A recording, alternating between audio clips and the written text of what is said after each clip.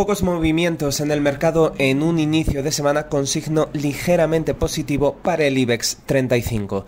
La atención este lunes se ha centrado en los datos de China, concretamente en el IPC de junio y en los precios de producción del mismo mes. Por el lado de la inflación se ha producido la quinta caída intermensual de forma consecutiva, mientras que por el lado de los precios de producción estos menguaron por noveno mes consecutivo. Los expertos coinciden en que China puede estar acercándose a una situación de deflación.